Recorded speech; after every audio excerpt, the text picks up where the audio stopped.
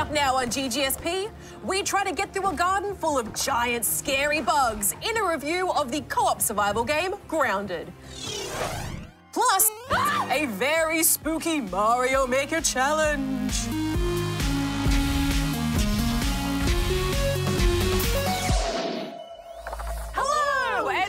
Welcome to GGSP. I am Flowey Gem. I'm your friendly neighborhood spider rad. And I am Count Jaxula.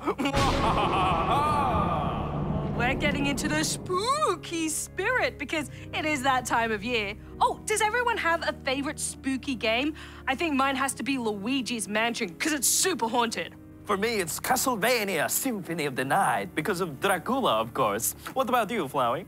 It would be wrong if I didn't say Undertale. But we have some spooky games on the show today that are also very good. We've got our review of Grounded.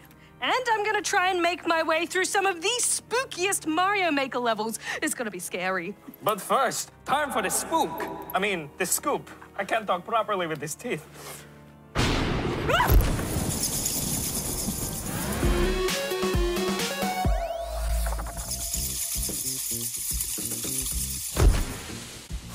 Greetings. Uh, Jax, you look different. I woke up feeling strange. The sunlight was scorching upon my skin. Ooh, scorching. Skin? Sounds like you have a bad case of vampirism. Vampirism? Oh no. I wanted to be a werewolf. Uh, well, do not worry, for I have both the diagnosis and the cure. Mm. Please close your eyes. Ready? Launch the flash! Don't you dare! Ow! Owie! Hey, I'm cured. Thanks, Isa. Can't believe that actually worked. I mean, of course it worked. Uh, do the news, please. Uh, alrighty, first up, Minecraft Spooky Fest. Throughout October, players have been able to get Halloween-themed skins on the Minecraft Marketplace, play all new mini-games, and go up against mutated mobs. But the coolest part is the real-life Minecraft masks, which you can download from the official website. You can make your very own Minecraft head. There are also drawing stencils a recipe for an enchanted pumpkin dip. Oh, I want to be a dip this Halloween, Jax. I'm thinking chives and onion? A dip would make for an excellent familiar. Ooh, but next, Knockout City. All throughout October, Knockout City has been celebrating mutants. We've already had the TMNT brothers kicking butt, but Halloween is bringing witchy-themed outfits, dragon heads, and more pumpkins. Pumpkin dip? No, no dip, just pumpkins. Oh, but speaking of pumpkins, you can grow them again in Animal Crossing. Yes, Animal Crossing is also celebrating Halloween. You can buy costumes from the Able Sisters, candy from Nook's Cranny, and if you talk to Jack, the czar of Halloween, he'll give you new reactions. Hmm, I'm going to have a reaction if I don't get some dip. Uh, um, how about some creepy sci-fi news happening right here in Australia? A group of scientists in Melbourne have managed to grow a brain and teach it how to play video games. It's called the dish brain and was grown using human and mice embryo neurons to create a puddle of sentience. They hooked it up with electrodes and taught it how to play the video game Pong, using the brain's electrical pulses to move the paddles. Apparently, after five minutes, the brain was pretty bad, but after 20 minutes, it had improved. 1v1 me, dish brain. Hmm, I do wonder what this means for the future of artificial intelligence. It means pretty soon that brain is going to be asking for dip. Ooh, dip where? Uh, that's all the news we've got for this week. It's time for dip. Brain dip. Hello? Anyone? Where did everybody go? Hello, Rad. Welcome to today's challenge. I have lined up some very spooky Mario Maker levels, and your goal is to get to the finish without screaming. Without screaming, that'll be easy. Challenge accepted. All right, let's do this. Your game starts now. All right. This isn't so spooky. Oh, that is actually a bit spooky. Uh, where do I need to go? I think it's lying to me. I think I actually need to go this way. Oh no.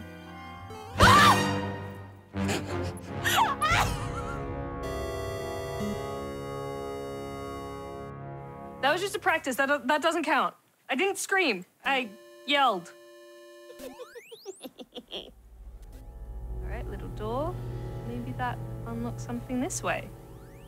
Oh, yes. Why is it Sorry, I thought I'd bring you a bat. Thank you so much. He's a good friend. Thank you. I really thought I wasn't gonna scream. Uh, third time lucky, I'm not gonna scream this time. No matter what happens. Uh, that wasn't a scream. That was an exclamation.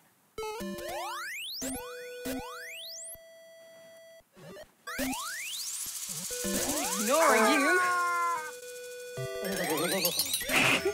Got my head in the game. You win this round. Alright. Um, do I need to go in here? No. Uh, maybe not. Ooh, a green door. That's handy.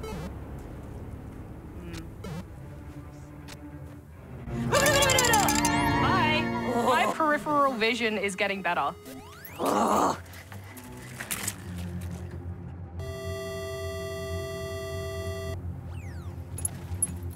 See, this is easy, given that the first two screams didn't count. Although the spooky uh, glitches on the screen are a little scary. Hey, Red, are you winning? Check if you were winning, I'm sorry. Uh, yeah, I'm going great. Thanks for asking. Very good. Just stay calm, Rad. And you can do this. Yeah. Okay. On. Maybe I'll go back. Oh! Oh. Okay. Well, I can't. Oh, I can jump up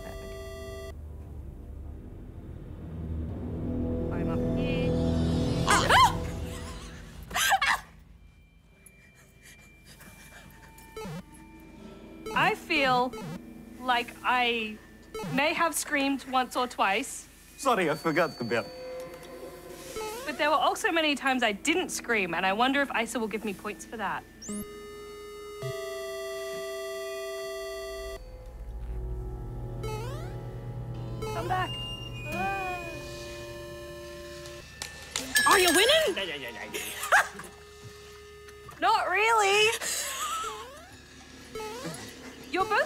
Good at spooking.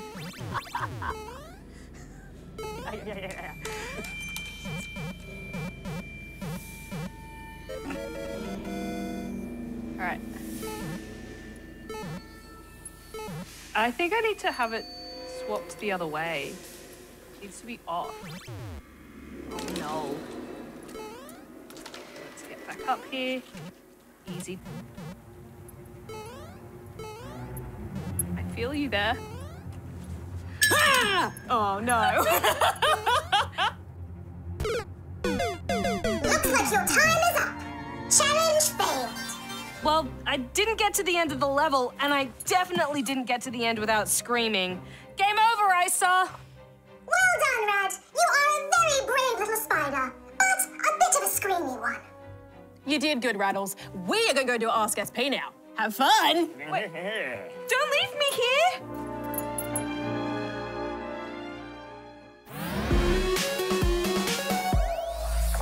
Ah, Jem, I want to answer some questions. Well, that's lucky because it's time for Ask SP Jaxula. Excellent. Well, let's sink our teeth metaphorically into some questions, starting with this video from Owen. Dear GGSP, I have one question and a picture. What is your favourite character in Mario Strikers? And here's my picture. Thanks, Owen. Excuse me. Thanks, Owen. We will have to evaluate your fine art in a moment. And warm up the art critique berets, would you please? Oh, yes, very good idea. Uh, But first, your question about our favorite character in Mario Strikers Battle League football. Ooh, that's a toughie. What do you reckon, Jaxula? Well, I haven't had the chance to play it myself, but I did like the look of Wario's devastating bum power. Ah, yes, of course. Doesn't love a bit of bum power. Uh, personally, from what I have played of Mario Strikers, I like Rosalina because she's great at scoring goals and does so with such flair. But overall, it's all about a good balanced team, isn't it? Surely a balanced team is no match for Wario's bum power. Oh, but, but now, time for the art. May we have the art critique berets, please? Oh, thank Oh, you, Thank Han. you. Upon my petals, please, Jaxula. Oh, there you are. Thank you. Oh, preheated. Makes all the difference, doesn't it? Indeed. Now, Let us art. Hmm, hmm, yes, yes, a portrait of life as a Fall Guys bean really captures the zeitgeist. I like the representation of the planet, perhaps Saturn. It evokes wonder, the mystery of space exploration. Can we ever hope to know space? Who's to say? Hmm, yes, truly, our thoughts have been provoked. Oh, so cold. Thank you, Owen. Moving on now to another video, and this one is from Jesse. Hey GGSP, I have two questions for you, and my name is Jesse. One, when is the new Forza Horizon 6 game coming? And two, have you ever reviewed the new Forza Horizon update? And plus, M- Darren is a mega super noob. And Rad, please do these emoticons. No!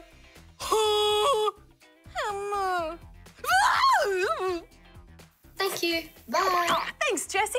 If you're wondering about the next Forza Horizon game, which we assume will be Forza Horizon 6, we haven't heard any goss about it at this stage. Yes, and until we hear the official word, we can only really assume that there will be a Forza Horizon 6. But if we do assume it's in the works, there's usually at least two to three years between each major Forza Horizon game release, based on past releases anyway. Forza Horizon 5 came out in 2021, so we probably wouldn't expect a full Forza Horizon 6 game until at least 2023 or 2024. Ah, ah, ah. Oh, I do wonder where it'll be set this time. Have they done one in French Perth yet? Oh, I, I don't think so, but that would be très bien. As for whether we've reviewed the Forza Horizon updates on GGSP, well, we did take a look at the LEGO Speed Champions expansion when that came out for Forza Horizon 4. And we also took a look at the Hot Wheels expansion that came out for Forza Horizon 5 this year. I gave it four and a half out of five rubber chickens. And you can check both of those out in our online archive. Also, nice to see Darren still being called a noob, a mega super noob no less. Oh, I'll make a note of that to let him know. Maybe on the Christmas card. I'm sure he'll love that. And now I think we have time for one more quick vid, and this one is from Shay and Jack. Hi GST, our name's Shay and Jack. Today we have one question for you. What is your favourite biome in Minecraft? And Isa, Isa, please do this. LA all day. Amongst us. Ooh. Utter glee. Little guy head. Tall fella. Thank you GGSP. Ah, watch out, Jerem, it's two ender dragons. Take cover, we need arrows. Jax, Jax, it's okay. It's just Shay and Jack in Ender Dragon costumes, and very nice ones at that. Oh, phew, that's a relief. Now, in answer to your question about our favourite Minecraft biomes, well, I'd have to say I love the lush caves, home of those atmospheric glowberries and adorable axolotls. This biome adds a really cool mood to the game's cave systems. Oh, how about you, Jax? Well, I'm rather fond of the mushroom biome because I'm a fun guy at heart. I love seeing all those wacky mushrooms, especially when they're on a cool little mushroom filled island. Oh, very nice. I don't like eating mushrooms in real life, but I do enjoy them aesthetically. But now I think that's all the time we have for Ask SP this week. If you have a question for us, go here to send it in. And if you send us a video and it gets picked for the show, we'll send you some very cool GGSP stuff. Hey, do vampires actually eat mushrooms? Well, there is actually a fungus known as the bleeding tooth mushroom. Sounds terrifying. It grows on you. Hey, Jem, do you like my new look? I know how much you love spiders. Oh, yeah, it's great. Spiders in the studio, spiders in grounded. This is totally not a nightmare of mine.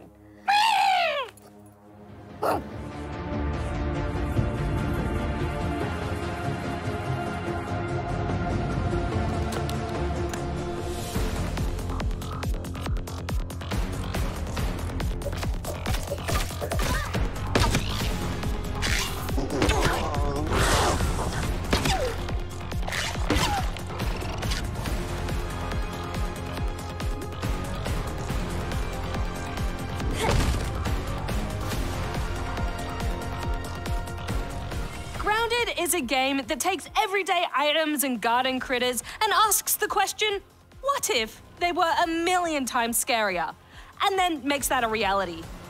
You play as one of four teens who've been miniaturized with no memory of how or why. Left to your own devices, you have to travel to five hidden labs to figure out what happened and how to fix it, all while trying to survive in a garden that hides danger around every corner. Oh, nope, no, no, no, no, no. This is definitely not the happy go lucky riding ladybugs and toy cars I expected for my own shrinky dink adventure. However, with a decent sized list of weapons, armour, base building options, and helpful stat boosters you can craft from fallen bugs, given enough time, you can make yourself a pretty comfy home away from home.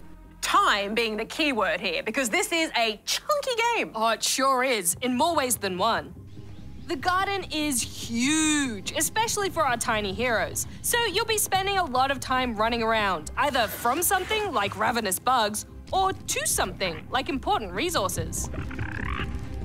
And although there is a map, it doesn't really tell you much. So I got used to navigating by landmarks. For instance, there's the oak tree filled with big ol' spiders, the hedge filled with little ol' spiders, a pond containing the world's most intimidating koi fish, and a picnic table that took me way too long to figure out how to climb up. Giving directions to my mates in co-op was interesting to say the least. Yeah, I'll bet. But I love that kind of survival world, one that's just so big and full of life that you really have to get creative with how you tackle it. And that's something that Grounded pulls off really well. You can play in either co op or single player, as well as create shared multiplayer worlds that people can just jump into whenever they want, regardless of who set it up. Which is great if you've got friends who just want to build while you want to hunt, or vice versa. I definitely think it's more fun with friends, if only to break up the screeching you'll be doing with some laughter here and there, but also because it's so much easier to get around if you have more than one inventory to make use of. Or more than two legs. As it is, the space you have is criminally small, given how much stuff you'll be lugging around. Yeah, even just having the option to expand the inventory by a few slots would have been nice. Otherwise, you just spend half your time dropping common items so that you can make room for more important or rarer resources. And you've already got enough to worry about on a hunt, especially at night. Bugs are all over the place and vary in how hard they can hit you. Some, like aphids, are docile and will flee, while ants are curious, but will mostly give you space unless you attack them first. Then there's larvae, which hate you all the time, bombardiers, who are just the worst, and stink bugs, which just, ew, why? Why are you the way you are? Oh, stop that! Unfortunately, I found the melee combat to be quite finicky at times, and in the heat of the moment, little mistakes can cost you dearly. It was pretty frustrating early on to feel like every enemy could and would drop me in a matter of seconds. I just got so tired of dying all the time. Yeah, I get that. The close combat issues really started to annoy me, and that is why I used the bow all the time. Building up your arsenal by picking off the smaller prey, working your way up to those big beefy boys, that's the bread and butter of survival games like this. You can also scan the bug parts you harvest for Science. which goes towards leveling up and unlocking more item recipes. It's a slow drip and grindy for sure, but I think it does a great job of encouraging you to explore while still giving you goals to build towards. Yeah, that's true. And that feeling of being totally outmatched all the time did fade eventually. However, I still found myself too often getting stuck in that cycle of needing tougher weapons to beat tougher bugs, but not having them because I couldn't beat the tougher bugs I needed to make the weapons with. Thankfully, though, Grounded has a bunch of really useful game settings you can fiddle with to create a more custom experience, which I found super handy. Like turning off enemy sight so aggressive bugs don't bother you, no weapon degradation so they don't break over time, and keeping your items after you die instead of them being left behind. Like everything's still here. It's not cheating if the devs give you the option. And like I always say, there is no shame in playing how you want to play. Yeah, as long as you're having fun. And for those that aren't a fan of the survival genre, you can start up a game in creative mode. And for arachnophobes, there is the option to make the spiders look less, oh, spidery. Which I actually found to be more off putting than the actual spiders. But I would think that because I am a spider. But we should wrap this up. Final thoughts, Jem? While I do think it's still being held back by some technical bugs, I'm really enjoying Grounded. I like how big the world is, how detailed and fun it is to explore. They've really captured the fun and magic of being a tiny person in an oversized world. After 40 plus hours between this and the early access version, I'm still finding new things. So I'm giving Grounded four out of five rubber chickens. What I like most about this game is how much it commits to the bit without taking itself too seriously. They've really lent into those classic survival sandbox elements to create a super satisfying and moreish experience. There is still some work to be done, but what's here is a dang good time. So I'm giving it four and a half out of five rubber chickens. Wonderful review, you two. We really should fix the lights in here. Yeah. Well, our spooky time is up, but next week on the show, we've got our massive review of Mario and Rabbids Sparks of Hope. Ooh, I cannot wait to get Rabbid Peach back on my team. Until next time, may all your games be spooky ones. Flowey out. Jaxula out. Spider Rat out. Don't worry, I'll go get a ladder. Okay, sorry. Doing great.